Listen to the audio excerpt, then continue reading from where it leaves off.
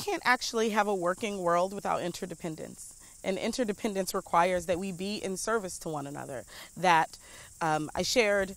Uh, I share this quote oftentimes by indigenous uh, activist Lilla Watson that says, If you've come to help me, do not come. But if you have come because your liberation is bound up with mine, let us work together.